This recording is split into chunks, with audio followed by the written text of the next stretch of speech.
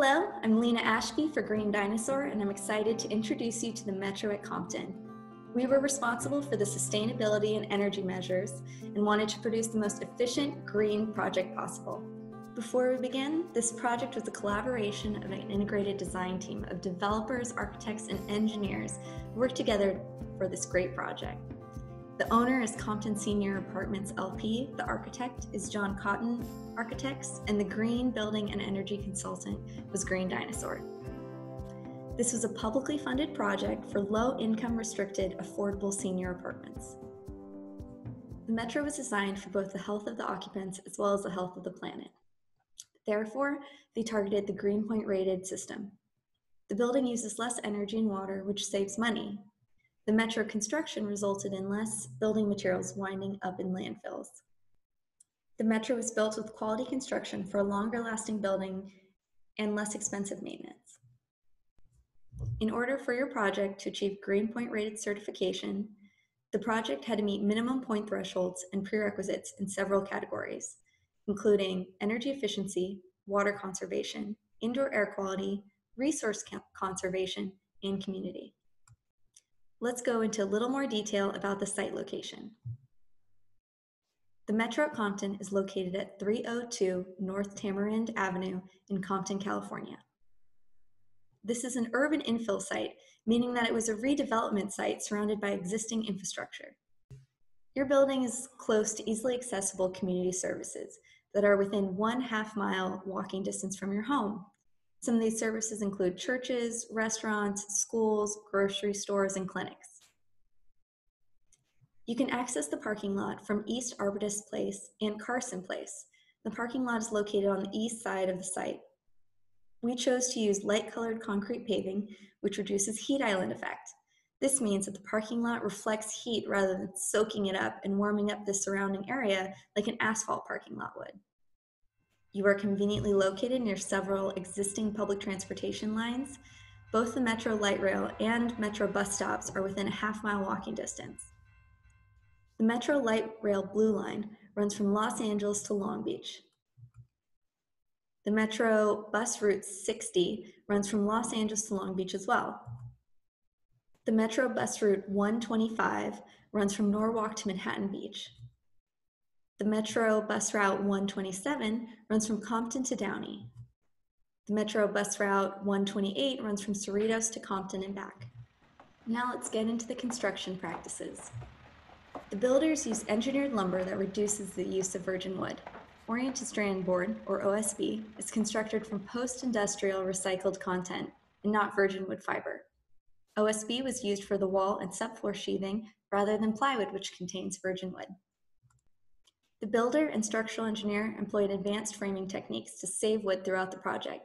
Some of these techniques included the use of I-joists instead of dimensional lumber and the minimization of cripple studs and headers. Green building projects exercise best management practices called construction indoor air quality management plans. This plan meets the Sheet Metal and Air Conditioning National Contractors Association Indoor Air Quality Guideline. All subcontractors shall comply with the plan's job site recommendations, and subcontractors provide training to their employees to ensure that the procedures are followed.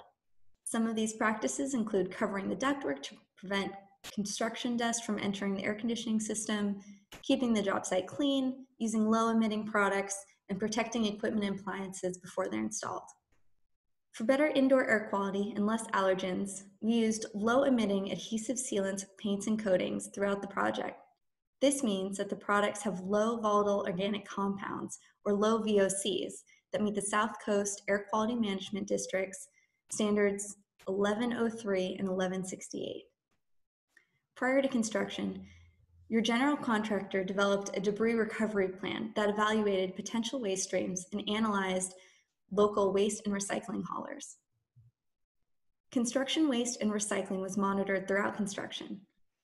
During construction, the Metro at Compton diverted 100% of the concrete and asphalt, as well as over 65% of the remaining materials from a landfill. Did you know that your building's exterior is made from durable and non-combustible stucco and fiber cement siding? Your CRRC certified cool roof reflects sunlight and keeps the space below cooler. The roof also has an extended product and workmanship warranty for increased durability. Have you noticed the beautiful landscape around your house? The new courtyard has more than 8,260 square feet of space for you to enjoy between the community garden on the south side and the courtyard on the east side of the lot. The community garden is a place for all of your edible plants. This photo is taken shortly before the garden is complete. Each tenant has room available for your own gardening. Hope you enjoy some homegrown fruits and veggies soon. To help reduce water evaporation, the landscape has over three inches of mulch to protect the soil in the planting beds. The landscape includes drought-tolerant plants that use less water.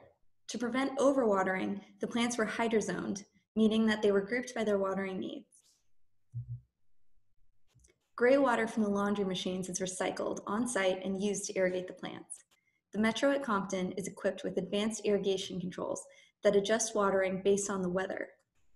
Let's explore the community areas.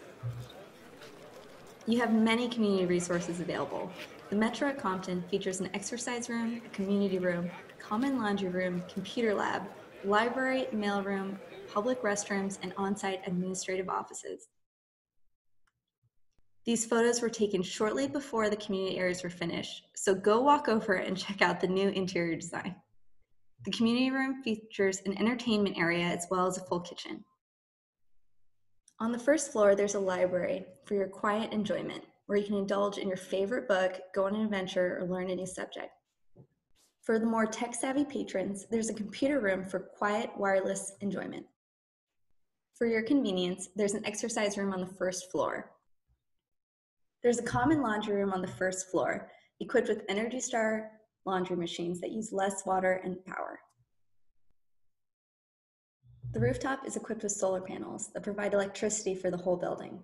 We consider renewables to be the cherry on top. We make the building as efficient as possible and reduce energy usage before we offset it. Solar panels have a much bigger impact when you put them on a Prius versus a Hummer. Therefore, we make a high performance building and then add solar panels and solar thermal. The rooftop is also equipped with solar thermal panels that preheat hot water, thus reducing the use of natural gas. The solar thermal system preheats hot water to two energy efficient boilers. The benefit of having two boilers is that one smaller boiler will run full time, while the other one will only turn on when needed.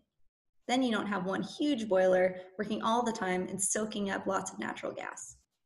The roof is also equipped with high efficiency heating, ventilation, and air conditioning, or HVAC units that use less energy. They also utilize more environmentally preferable R410A refrigerants that reduce their climate change impact.